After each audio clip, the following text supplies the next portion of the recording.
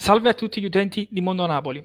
Il posticipo della, della 31esima giornata tra Napoli e Inter si è concluso con il risultato di 1-1. Al vantaggio iniziale, a quanto fortunoso del Napoli, eh, su, eh, che è nato da uno spunto di insigne dalla fascia e l'autogol dell'Inter, risponde nel secondo tempo Eriksen. Quindi il, il risultato finale è stato di 1-1. La redazione di Mondo Napoli ha stilato le pagelle per quanto riguarda gli azzurri.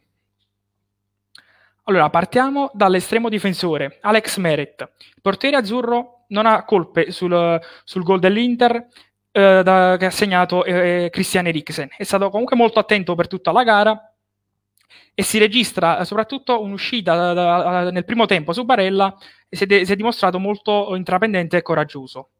Passiamo alla, alla catena difensiva e iniziamo leggendo da sinistra verso destra con il portoghese Mario Rui. Voto per lui 5,5. È un po' come lo stesso discorso del, di, di, Lorenzo de, de, sull'altra corsia uh, destra, perché spesso e volentieri ha sofferto le uh, cavalcate offensive di Hakimi. E anche in difesa non ha fatto delle ottime chiusure che nel finale eh, hanno comunque rischiato di uh, far subire il secondo gol al Napoli. Passando alla coppia difensiva Koulibaly-Manolas, per Koulibaly voto 6,5. Sono le partite in cui si esalta. Vince spesso il duello contro un avversario che comunque non è facile come Romelu Lukaku. Voto 7 per Kostas Manolas, il migliore in campo da parte degli azzurri, che quando il greco gioca in questa maniera veramente c'è poco da fare per gli avversari. Si registrano ottimi interventi scivolati che hanno salvato in più occasioni il risultato, soprattutto su Hakimi nel finale. Sempre molto attento, possiamo dire che è la miglior prestazione stagionale fino ad oggi. Di Lorenzo 5,5, stesso voto di uh, Mario Rui. Il laterale non è sempre lucido e nel primo tempo soprattutto è andato in difficoltà uh, per quanto concerne le incursioni di Darmian ed è stato anche molto impreciso uh, nel, diciamo, nelle azioni offensive. Passiamo al centrocampo con la coppia Demme-Fabian Ruiz. Entrambi 6,5. Demme è il polmone del Napoli, è autore di una prestazione solida in mezzo al campo dove spesso, spesso rincorre gli avversari fino all'ultimo minuto.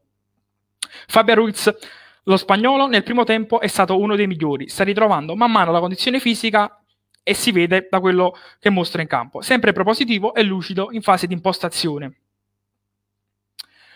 Passiamo al reparto offensivo, se mezzo anche per il capitano Lorenzo Insigne, che ci mette sempre lo zampino nelle azioni di gol del Napoli. Quindi oggi il tiro che diciamo ieri ha causato lui, uh, ha causato l'autogol, è stata comunque una, sempre da una sua invenzione si registrano ottimi interventi anche in fase difensiva. Nel primo tempo è stato spesso protagonista, eh, soprattutto nel, in occasione del gol. Voto 5,5 per Piotr Ziliski. Il polacco non è stato molto incisivo durante il match e spesso impreciso, quindi non è inciso come spesso lui sa fare, soprattutto in questa stagione. Quindi da lui è un talento che ci si aspetta sempre di più e ha tutto comunque per emergere in questi match. Voto 6 per uh, Matteo Politano. Il primo tempo si impegna molto nella fase difensiva e nella fase non possesso aiuta comunque anche Di Lorenzo a contenere gli esterni.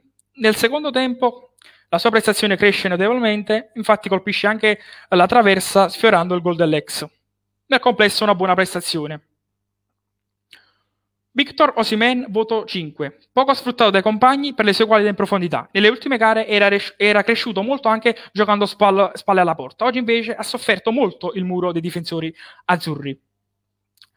Per quanto riguarda i subentrati, registriamo il 6 di Dries Mertens che comunque entra bene in gara e si dimostra sempre pronto ad aiutare i compagni. Per quanto riguarda Elmas, Bakayoko e Sai, la redazione di Mondo Napoli ha preferito non dare voto, anche perché non hanno mostrato, comunque un, non hanno reso né nel bene né nel male, quindi non, non hanno influito nei confronti della partita e del risultato stesso. Per Inno Cattuso, sufficienza, voto 6.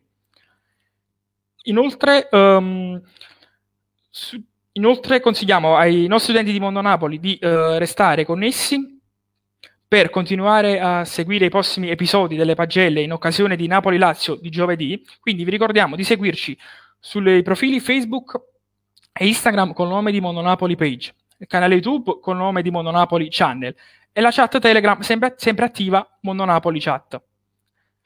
Restate connessi e non, non perdetevi le prossime pagelle in occasione di Napoli-Lazio.